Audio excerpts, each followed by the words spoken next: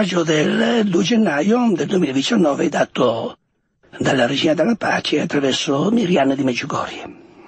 Cari figli, purtroppo in mezzo a voi, figli miei, c'è tanta lotta, odio, propri interessi ed egoismo. Figli miei, così facilmente dimenticate mio figlio, le sue parole e il suo amore. La fede si spegne in molte anime ed il cuore preso dalle cose materiali del mondo.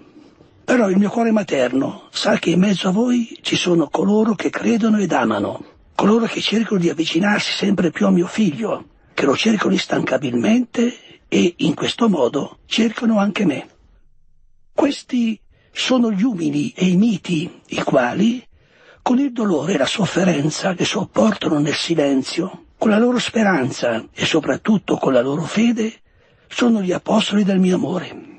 Figli miei, apostoli del mio amore, vi insegno che mio figlio non cerca preghiere con troppe parole, ma anche le opere e i sentimenti.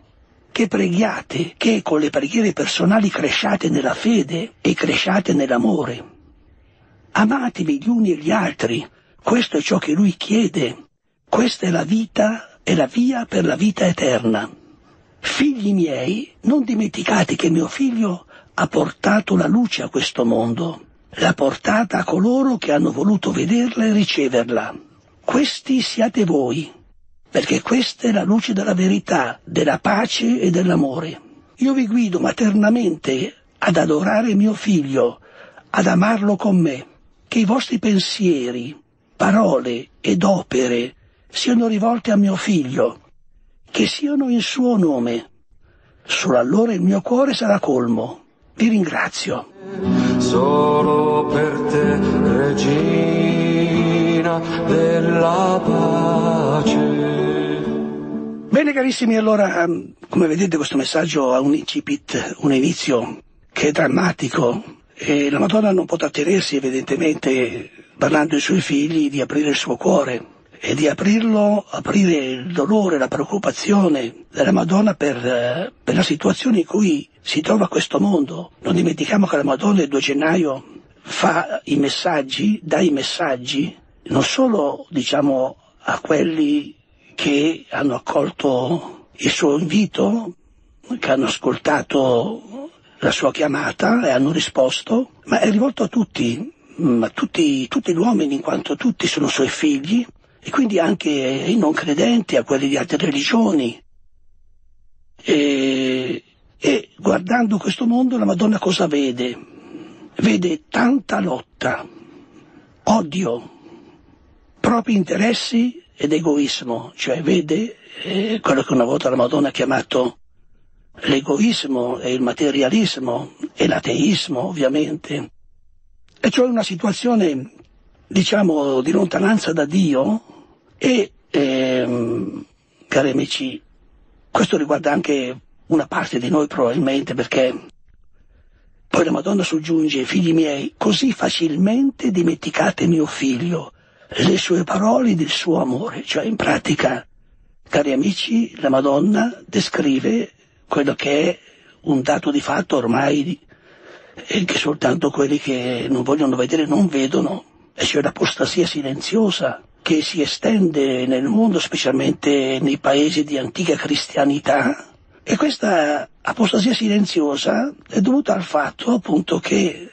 così facilmente, cioè colpisce la facilità con cui ci si disfa della fede, ci si, disfa, si mettono, diciamo così, da parte eh, quelli che sono i propri doveri religiosi, si mette da parte la legge morale, l'osservanza dei comandamenti, insomma, eh, tutta la ricchezza che abbiamo ricevuto eh, nella nostra educazione cristiana, tutto il patrimonio di fede, di insegnamenti, di testimonianze che abbiamo ricevuto anche attraverso i santi, e poi anche questa, diciamo così, questo appello che fa la Regina della Pace di donare a suo figlio, noi facilmente, facilmente dimentichiamo suo figlio, le sue parole e il suo amore. Cioè, ci sono tante altre cose, ovviamente, che ci interessano di più, sono le cose materiali, sono l'effimero, sono le seduzioni, sono gli inganni del demonio, sono le false luci, la falsa pace, le false gioie. Tutto appena Satana fa un fischio e i ranocchi corrono nella bocca della serpe. Così facilmente dimenticate mio figlio, le sue parole, il suo amore, guardate con che facilità, come dei farfalle, delle farfalle che vanno da fiore a fiore, così noi abbandoniamo questo giro di santità di purezza che è il Signore per andare a prendere dai fiori dove ci viene offerto in abbondanza il veleno. Meditate, eh, cari amici, queste parole. Figli miei, così facilmente dimenticate mio figlio, le sue parole e il suo amore. La Sacra Scrittura avrebbe parole, specialmente attraverso i profeti, come il profeta Eseo, Osea, che questo atteggiamento di abbandonare Dio per andare dietro gli idoli lo chiama l'atteggiamento delle prostitute, che lasciano il Dio vero per adorare gli dèi, dimenticano il Dio vero, le sue parole e il suo amore per seguire gli idoli del mondo. Guardate, cari amici, quanto severa la Madonna, credo che lo faccia col cuore straziato, nel dire, nel vedere, pietà dei suoi figli, dimenticano suo figlio, le sue parole il suo amore. Speriamo, cari amici, che fra questi figli di non esserci anche noi e purtroppo, purtroppo questa apostasia silenziosa non risparmia nessuno. Eh, non risparmia nessuno, eh, né i fedeli né l'ordine sacerdotale, tutti devono lottare per la fede oggi, diversamente la perdono. E poi la Madonna rincara la dose, scusate se mi permetto, non è che voglio terrorizzare nessuno, però eh, lei lo fa sempre, lei ha, ha, un modo molto gentile e materno di porgere anche le sue analisi più spietate, ma questa è veramente un'analisi spietata, dice la fede si spegne in molte anime. E, e, e valutare, valutare gli aggettivi o gli avverbi per capire le parole della Madonna, dice così facilmente dimenticate mio figlio. Poi dice la fede si spegne in molte anime non in poche anime, in alcune anime, in molte anime si spegne la fede. Non è che entri in crisi, addirittura si, si spegne, muore. E quindi quando in una stanza buia, cari amici, si spegne la torcia, c'è il buio più totale, in molte anime si spegne la fede. E qui poi la Madonna dà la spiegazione di questa crisi di fede. È una spiegazione che è molto è da prendere in, in seria considerazione, perché molte volte si fanno delle analisi sulla verità della fede oggi, e ovviamente poi le posizioni sono differenti, si dice che appunto la crisi si spegne perché, diciamo, queste sono le posizioni moderniste, no? che ritengono la fede e la religione superate, quindi è normale che si perda la fede ormai in un mondo diventato adulto dove la ragione e la sola via di, di conoscenza è soprannaturale sarebbe una, un inganno, un'invenzione, una fantasia inutile, no? Quindi sono quelli che appunto eh, sono in genere modernisti, modernisti anche all'interno della Chiesa ci sono, eh, anzi sono, sono molto diffusi anche se ben nascosti, sempre meno però sono nascosti, ormai si fanno avanti anche quelli che nella Chiesa dicono che Gesù non è il figlio di Dio,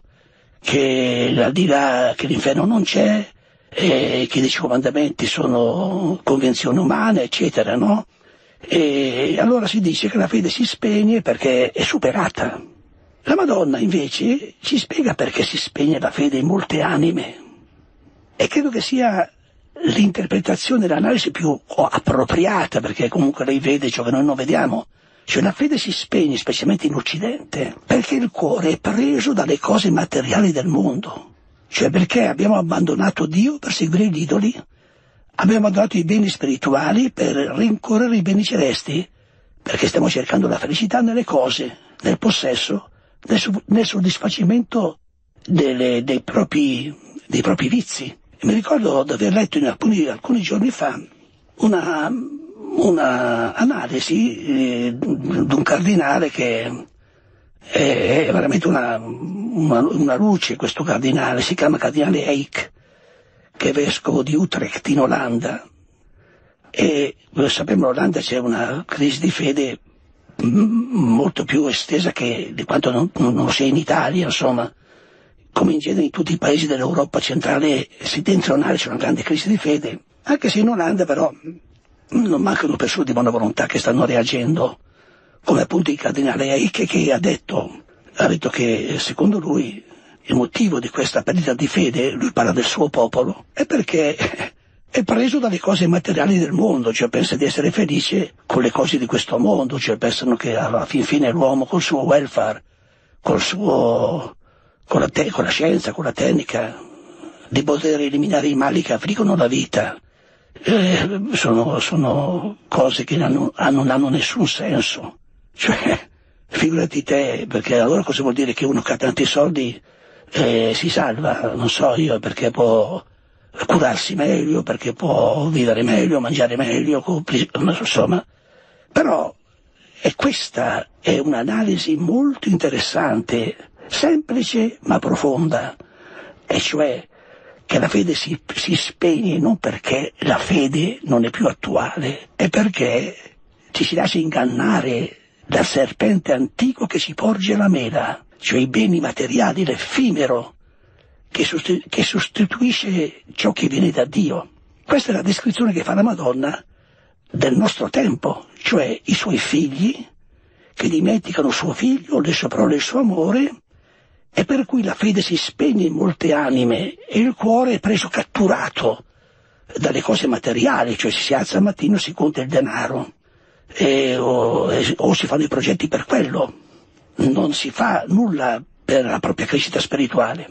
Allora, però la Madonna eh, ha una piccola consolazione, diciamo, forse piccola ma anche grande consolazione, dal fatto che dopo tanto tempo che è qui con noi e che scuote, diciamo così, la polvere di, di dosso dalle nostre anime, scuote la polvere dalle nostre anime stanche, come lei dice, sa che in mezzo a noi ci sono coloro che credono ed amano, coloro che cercano di avvicinarsi sempre più a mio figlio, che lo cercano instancabilmente e in questo modo cercano anche me. Adesso, cari amici, noi dobbiamo, con molta lealtà con noi stessi, chiederci a quali di questi due schieramenti apparteniamo, a quelli nei quali la fede si spegne perché presi dalle cose materiali, o a quelli che credono ed amano. Siamo fra questi, cari amici, chiediamocelo attentamente e se non lo fossimo cerchiamo di esserlo fra coloro che credono ed amano, coloro che cercano di avvicinarsi sempre più a mio figlio. Lo cercano instancabilmente, in questo modo cercano anche me. Guarda la Madonna com'è, come è precisa. Non dice cercano me, così poi trovano mio figlio. Dicono che cercano mio figlio così, e così cercando mio figlio cercano anche me che sono sua madre, che sono la guida che porta a lui. Cioè la Madonna dice, che i suoi figli cercano lei per trovare suo figlio.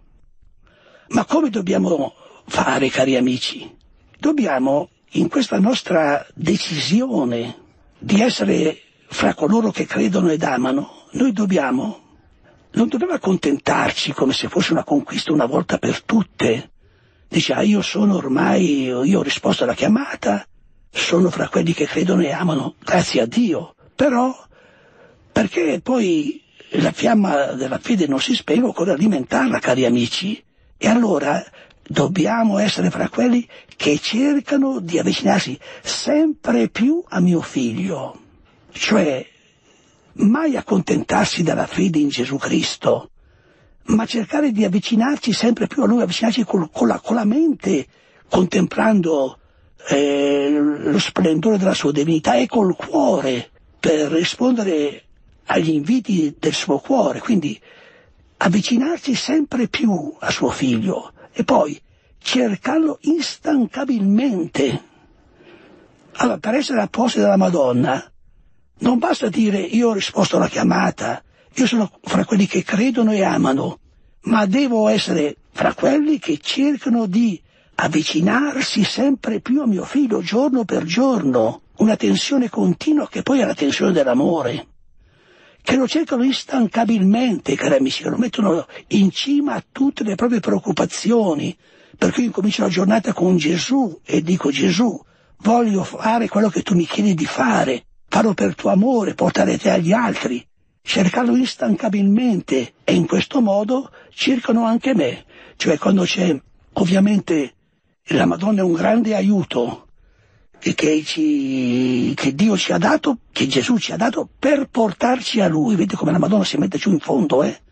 E anche quando, anche quando la, è Dio stesso, è Gesù stesso che ci manda da Maria, lo fa perché poi Gesù sa che nessuno più della Madonna è, è capace di portarsi fino a Lui. Chi sono, cari amici, questi che rallegano il cuore materno di Maria?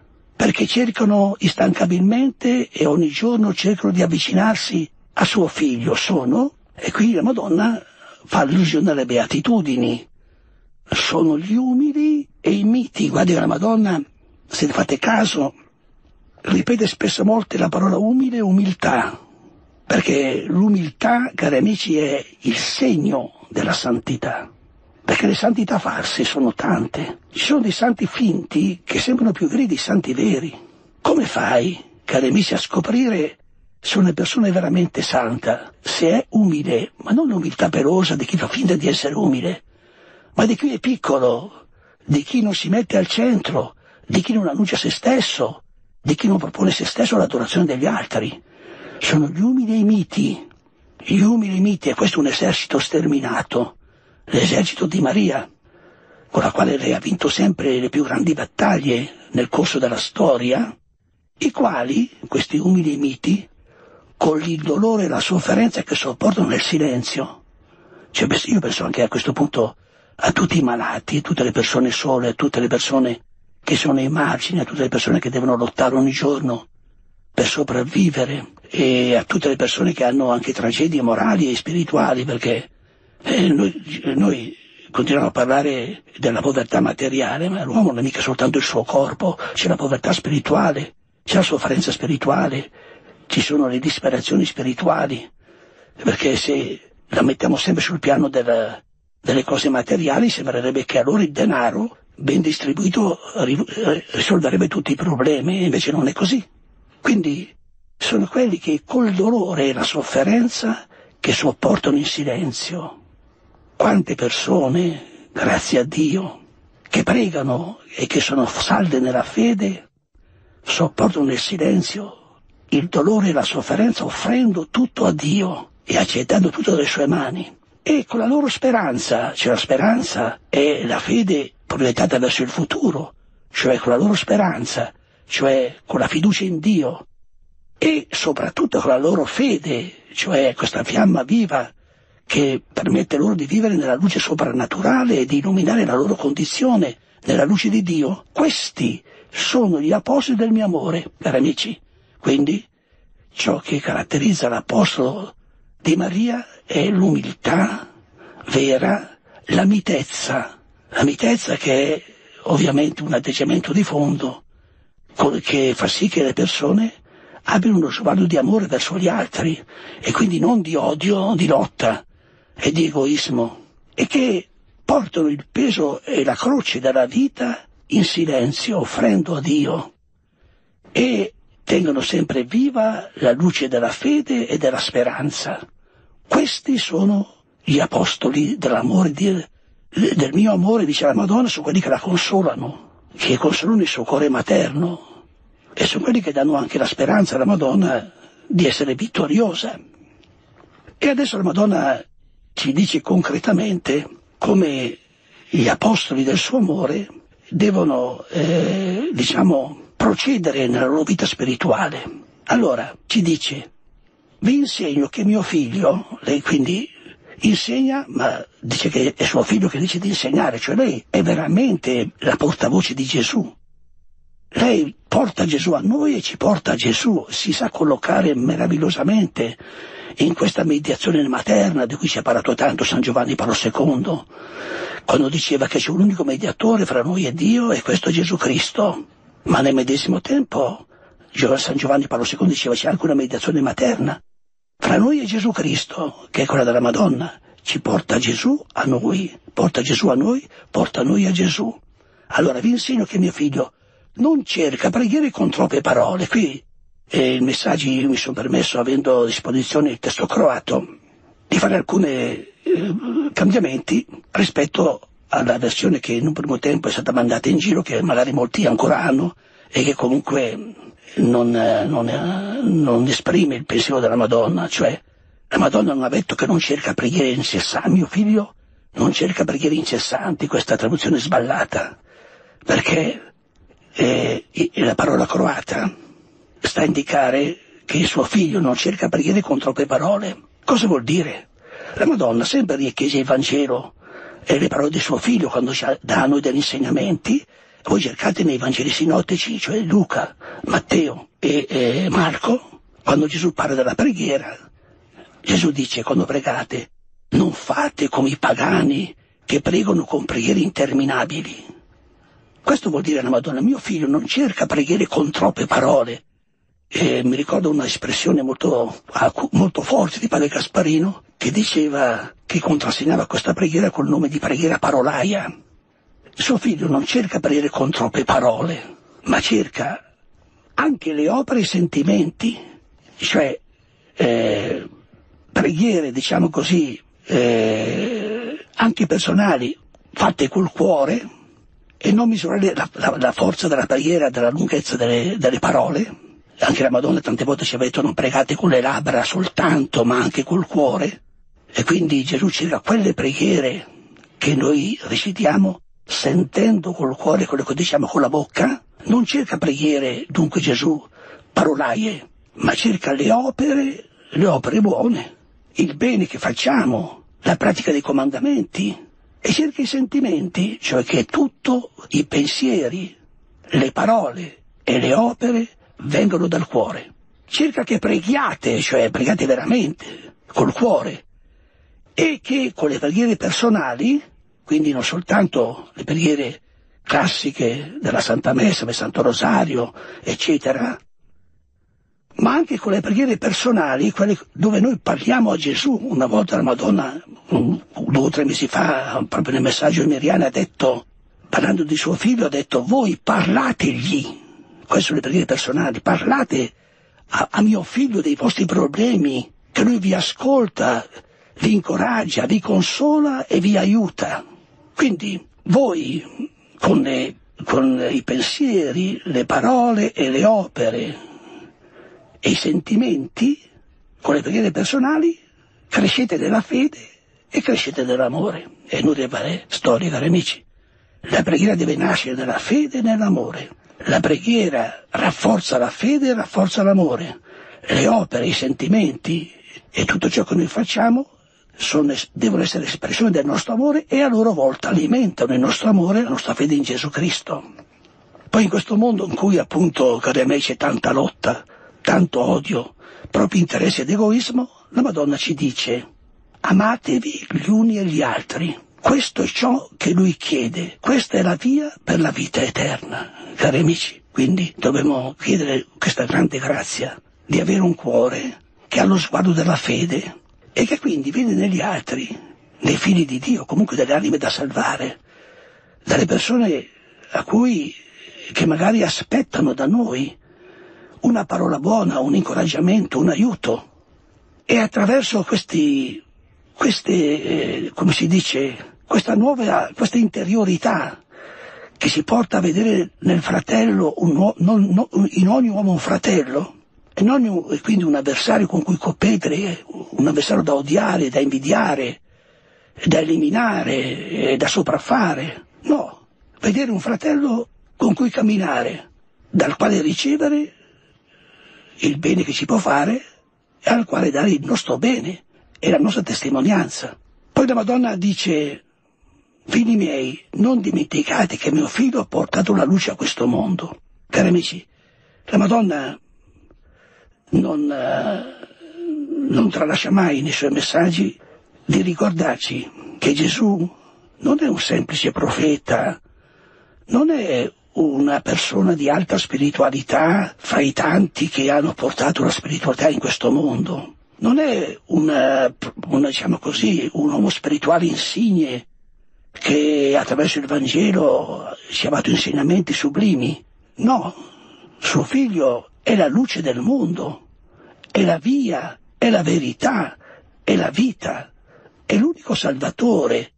Vedremo, cari amici, come nel messaggio che la Madonna ha dato a Jacob, proprio il giorno di Natale, proprio al termine del messaggio, la Madonna dirà eh, una frase che, come voi potete vedere, è stata la frase che ha contrassegnato anche tutte le catechesi che abbiamo fatto nel tempo di avvento e quelle racchiuse nel mio libro. E quando verrà il figlio dell'uomo troverà la fede in questo mondo, cioè nel messaggio a Jacopo la Madonna dice dite sì a mio figlio perché lui è l'unica via che vi porta all'Eterno Padre, lui è l'unica via, l'unica luce, l'unica verità, l'unica fonte di vita, cari amici e l'ha portata a tutti quelli che hanno voluto vederla e riceverla. E qui è il punto chiave, cari amici, che, su cui la Madonna ha insistito fin dal primo giorno dei suoi messaggi, e cioè che ogni uomo è dotato della libertà. E io, dice la Madonna, mi inginocchio davanti alla vostra libertà e vi supplico, convertitevi.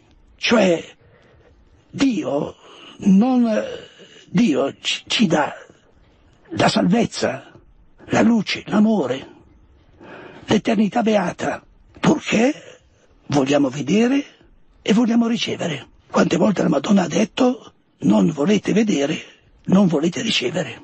Quindi attraverso la nostra scelta, cari amici, noi decidiamo del nostro destino eterno. Quindi la Madonna dice, voi siete fra quelli, questi siete voi, siete fra quelli che accolgono la luce di mio figlio, che la vedono, raccolgono e perché, perché diventiate voi stessi in questo mondo la luce della verità, della pace e dell'amore. Sempre la Madonna termina i suoi messaggi inviandogli la posta del suo amore a testimoniare. Poi c'è la frase ultima, anche qui, cari amici, da una parte riecheggia la festa dell'Epifania, quando i re magi, come abbiamo letto nel Vangelo, arrivati davanti alla culla del bambino Gesù sono prostrati e hanno adorato. E qui la Madonna ci invita ad adorare colui che è il figlio di Dio fatto uomo, colui che ci rende presente Dio, colui attraverso il quale possiamo conoscere Dio, che è suo figlio. Allora io vi guido perché voi vi inginocchiate, vi prostriate ad adorarlo e ad amarlo con me. So che nella, nella prima versione di questo messaggio alcuni avevano alcuni erroneamente tradotto ad amarlo come me, no, è ad amarlo con me. Sam non, con me. Io vi guido maternamente ad adorare mio figlio, ad amarlo con me. Cari amici, con Maria adoriamo suo figlio, riconosciamo che lui è il figlio di Dio, l'unico mediatore, l'unico salvatore del mondo, che una sola religione è quella vera, quella cristiana, quella cattolica. Questo, cari amici, sono i fondamenti della fede che oggi vengono sistematicamente oscurati, eh, tali da, che a volte sembrano anche che eh, stendono la sua, la, questa ombra eh, su tanti ministri della Chiesa che hanno difficoltà a riconoscere eh, suo figlio, mi ha fatto impressione un'email che mi è arrivato in questi giorni dove appunto il parroco ha detto nel giorno della, di Maria e madre del primo gennaio Maria madre di Dio ha detto no ma questa espressione è, è simbolica come espressione simbolica. Cioè madre di Dio vuol dire che la Madonna è madre di quel bambino che è il figlio di Dio. Ormai apertamente anche dal pubblico si nega le, le, le, a volte si negano le cose elementari della fede io vi guido maternamente ad adorare mio figlio, ad amarlo con me.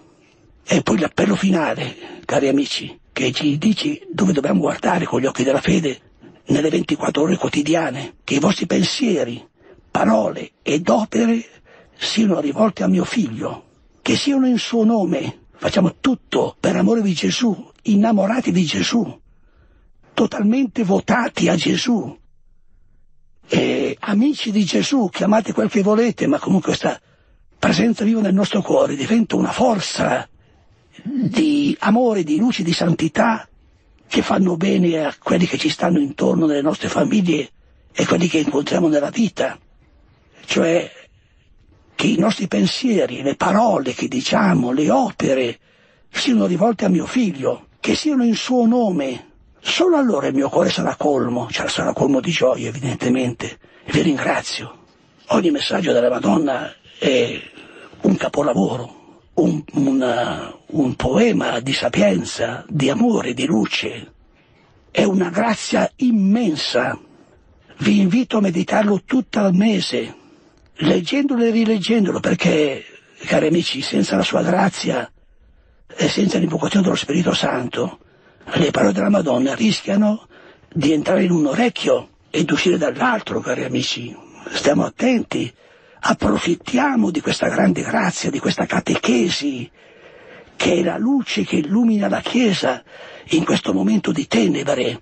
Dicono, ah, ma la Madonna ha fatto 4 milioni, non so quando fanno i, i, calcoli, quanti messaggi, ha fatto 4 mila, 5 mila, cosa continua i messaggi? Bene, cari amici, la Madonna in questi 4.000 5.000 messaggi che ha fatto non ha detto mai un'eresia. Se invece andiamo a sentire le prediche o la lezione di catechismo, vediamo che è ben difficile, o qualche libro scritto dei sapientoni di questo mondo, è ben difficile che non ci siano delle eresie. Dove trovate un insegnamento così profondo, così luminoso, così pieno di amore, così celeste e così perfettamente conforme alla fede? Dove l'ho trovato? Perché nessuno si chiede come mai, da dove vengono queste parole. Alcuni dicono, eh, ma sono i veggenti che se le sono inventate, che, che le producono... No, guardate, figlioli cari, che, eh, che la, la, veri, la, la, verità, la fede, che la verità, perché queste sono parole di verità, eh, nasce, cari amici, non nasce sui terreni, eh, diciamo così, di persone sconclusionate. E io eh, io penso, cari amici, che specialmente noi preti, ma non solo noi preti, anche i catechisti e tutti quelli che insegnano, anche i genitori, bisogna nell'umiltà chiedere a Dio la grazia che i propri pensieri siano sempre conformi alla verità. Cioè chiedete a Dio di non pronunciare mai una parola che sia ambigua, che sia contorta, che sia tale da mettere in dubbio la fede le vostre parole siano sì, sì, no, no, cioè sì, sì alla luce, no, no alla menzogna, non ambigue. E vedete, bisogna proprio chiedere, questa è una grazia che Dio dà, una grazia, la grazia, cari confratelli, mi permetto di dirvelo, la grazia che in tutti i vostri insegnamenti, tutte le vostre prediche, tutti i vostri consigli che fate in confessionale, tutte le vostre catechesi siano conformi alla verità rivelata, siano conformi all'insegnamento della Chiesa, in modo tale che, cari amici, possiamo essere veramente, come ha detto la Madonna, quelli che portano la luce in questo mondo. Rileggiamo il messaggio. Cari figli, purtroppo in mezzo a voi, figli miei, c'è tanta lotta, odio, propri interessi ed egoismo. Figli miei, così facilmente dimenticate mio figlio, le sue parole e il suo amore. La fede si spegne in molte anime ed il cuore, preso dalle cose materiali del mondo, però il mio cuore materno sa che in mezzo a voi ci sono coloro che credono ed amano, coloro che cercano di avvicinarsi sempre più a mio figlio, che lo cercano instancabilmente e in questo modo cercano anche me. Questi sono gli umili e i miti i quali, con il dolore e la sofferenza che sopportano nel silenzio, con la loro speranza e soprattutto con la loro fede, sono gli apostoli del mio amore. Figli miei, a posto del mio amore, vi insegno che mio figlio non cerca preghiere con troppe parole, ma anche le opere e i sentimenti. Che preghiate, cioè cerca che preghiate, che con le preghiere personali cresciate nella fede e cresciate nell'amore. Amatevi gli uni gli altri, questo è ciò che lui chiede, questa è la via per la vita eterna. Figli miei, non dimenticate che mio figlio ha portato la luce a questo mondo. L'ha portata a coloro che hanno voluto vederla e riceverla. Questi siate voi, perché questa è la luce della verità, della pace e dell'amore. Io vi guido maternamente ad adorare mio figlio, ad amarlo con me, che i vostri pensieri, parole ed opere siano rivolte a mio figlio, che siano in suo nome. Solo allora il mio cuore sarà colmo. Vi ringrazio. E cari amici, però, prima di chiudere, volevo, per tutti quelli che non hanno ancora ascoltato letto, eh, riportare il messaggio della regia della pace del 25 dicembre, giorno di Natale, a Jacob di Meggiugorie, come sapete eh, la Madonna apparendo a Jacob eh, nel 1998, il padre per l'ultima volta, gli ha detto che sarebbe apparsa a lui per tutta la sua vita ogni anno a Natale. Così è avvenuto anche quest'anno, un'apparizione durata nove minuti, la Madonna ha levato questo messaggio. Cari figli, in questo giorno pieno di grazia, in modo particolare vi invito all'amore. Figlioli, Dio vi ama con un amore immenso e perciò figlioli, pieni di fiducia, non guardate indietro, ma senza paura donateli i vostri cuori, in modo che Dio li riempia col suo amore. Non abbiate paura di credere al suo amore e alla sua misericordia, perché il suo amore è più forte di ogni vostra debolezza e paura. Perciò i miei figli, figli miei pieni di amore nei vostri cuori, abbiate fiducia in Gesù e ditegli il vostro sì, perché Lui è l'unica via che vi porta al Padre. Vedete, questo messaggio possiamo dire è decisionista, proprio la Madonna ci dice, punto primo, è un forte invito all'amore. Poi eh, Gesù, la Madonna ci dice, dateli i vostri cuori, perché Dio li riempie col suo amore. Ci dice, non abbiate paura di credere al suo amore, alla sua misericordia, e quindi di vincere la vostra paura, la vostra debolezza. E poi dice, diteli vostro sì a Gesù e abbandonatevi a Lui. Poi c'è questa frase che a mio parere non è messa lì per caso, perché Lui è l'unica via che vi porta all'Eterno Padre. Cari amici, questo volevo sottolineare, che la Madonna nel giorno di Natale ha voluto ricordarci che non ci sono altri salvatori, non ci sono altri redentori. Gesù non è uno dei profeti, come qualcuno sostiene anche apertamente, e, e, e diabolicamente. E, Gesù è il figlio di Dio, il Redentore del mondo. È l'unica via che vi porta all'Eterno Padre. Non ci sono altre vie. A questo riguardo, cari amici, vorrei mi è arrivata un'email di una signora che ha attirato appunto la mia attenzione, che comunque io l'avevo già visto perché, come sapete, è uno dei temi che sto svolgendo nelle catechesi che ho fatto in questi ultimi mesi su Gesù, l'unico salvatore del mondo. C'è una signora che mi ha scritto un bel commento a questo messaggio, specialmente alla frase finale, che vorrei condividere con voi. Mi scrive, si chiama Anna Maria, questa signora, caro padre Livio, vorrei umilmente inviarle un mio semplice commento su una frase che la Madonna ha donato durante l'apparizione di questo Natale a Jacopo. La frase che mi ha colpito particolarmente è Lui è l'unica via che vi conduce al Padre Eterno. Lui è l'unica via che vi conduce al Padre Eterno. Tre punti esclamativi. La Madonna, la Madre di Dio, la nostra mamma celeste, Maria, con queste parole sottolinea fortemente come non vi sia altra via che conduce al Padre se non Gesù Cristo. Egli è la via, la verità e la vita. Senza Gesù non c'è salvezza. E ce lo ricorda il giorno del Santo Natale, giorno in cui la Chiesa vive con gioia e riconoscenza il grande e incommensurabile dono dell'incarnazione di suo figlio unigenito. Egli è generato, non creato, eterno verbo del Padre, per mezzo del quale tutto fu fatto. È l'unico Salvatore. Non c'è spazio per la religione universale, che unisce tutte le fedi e ne riconsegna una minestrone insipido, al quale tutti gli uomini dovrebbero inchinarsi. Noi cristiani conosciamo la verità che porta alla salvezza, l'unica verità che conduce al Padre. Maria, da vera teologa, ci riconduce alla verità che spesso i teologi ed i pastori hanno dimenticato o trascurano di annunciarlo agli uomini. Gesù Cristo è l'unica via che ci porta al Padre, non vi è altra via. Grazie Gesù, perché attraverso Maria ci ricordi le grandi verità rivelate. Non stancarti mai di noi, Signore. Resta con noi, Signore, perché si fa sera. Questa è una bellissima meditazione, un email che aveva mandato Anna Maria, dopo che ha letto il messaggio della Regina della Pace, a Jacopo che terminava dicendo ditemi il vostro sì a mio figlio, perché lui è l'unica via che vi conduce al Padre Eterno. porta. Bene carissimi, abbiamo terminato, lettura e commento del messaggio della Regina della Pace Miriana e anche una breve riflessione anche su quello inviato a Jacob. Beh, ringraziamo la Madonna che tutto sommato gli avevo chiesto questa grazia di far sì che eh, il 7 potesse ricominciare perché avevo perso la voce, ero afro da 15 giorni quasi, e quindi sono contento che la Madonna nella sua infinita bontà, e oggi mi abbia potuto, e mi abbia dato questa grazia di poter commentare il messaggio. Pregate un pochettino anche per me, perché mi ritorni bene la voce, perché se appunto spero di cominciare domani e di nuovo gli impegni normali, cioè la lettura cristiana della cronaca della storia, poi ovviamente la catechesi, in modo tale, cari amici, di alimentarci e camminare giorno per giorno, e incoraggiandoci a vicenda, pregando a vicenda gli uni per gli altri. Perché, noi, perché cari amici, come ha detto la Madonna, eh, oggi la fede si spegne in molte anime e facilmente dimentichiamo suo figlio.